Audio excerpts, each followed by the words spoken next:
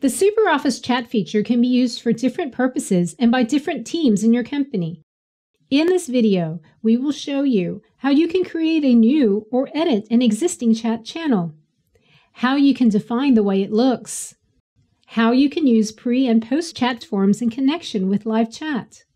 To get started, log into SuperOffice and open the Administrator client by clicking on Settings and Maintenance in the Settings menu. Then click on Chats in the navigation menu on the left-hand side. This is where you will see all the chat channels that you have in use.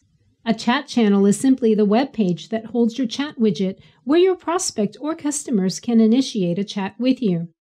Typically, you have a channel per page, such as on the pricing or product page, or for example, one channel per language.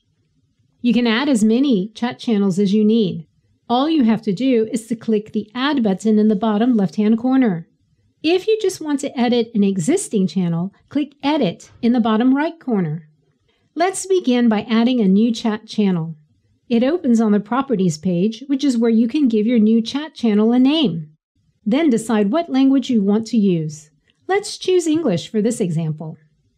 Next, add a text message for the visitors to your website, inviting them to chat with you for example, click here to chat with us. This text is shown on your website while the chat widget is closed. You add this text under Badge Header. Remember to add a description to your channel. Here is where you set how much time can pass before another team member or manager is notified that a new chat is waiting. Next, you want to define the employees that will respond to the incoming chats of this particular channel. We call them chat agents. To add new agents, you simply click on the arrow to reveal the drop-down list and choose the team member you wish to add. Make sure to set the correct rights each agent should have. To learn more about agent rights, see the Help section. In our example, we will add three agents and one of them is a manager. To configure the way your chat widget looks, click the Chat Widget Layout button. This is where you can choose what theme, color, and font you wish to use. Decide whether you want to show your company logo and whether a picture of your agents should be shown when they chat with your customers. Finally, add your header text and the message to your customers. The preview image will show you what the chat widget will look like, so you can see the changes of the widget as you go.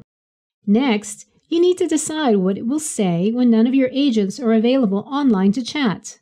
This is what we call the offline form. You can invite customers to send you their question by mail, call you, or simply come back later. Better yet, you can also invite your customer to complete this form and send in his question as a request, which can be handled by your agents later. This option is only available to you if you use SuperOffice Service or a complete user plan. Offering this option to your customers ensures that they will get help even if there aren't any chat agents available to help at the moment. You can also add a pre-chat form to your chat widget.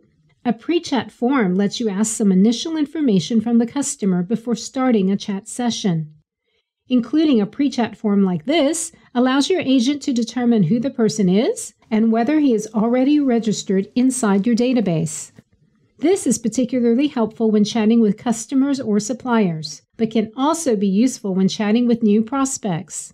If you want to offer ready FAQ suggestions, you will also turn that functionality on through the pre-chat form.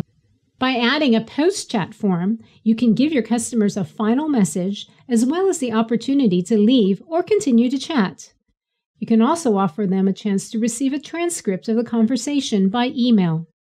All of these configurations allow you to define the customer experience that works best for your chat channel. Once you are happy with all the changes you have made, simply click Save. Now you have configured your chat widget and you are ready to add the chat widget to your website. To learn how to do this, please watch our next video, How to Add a Chat Widget to Your Site.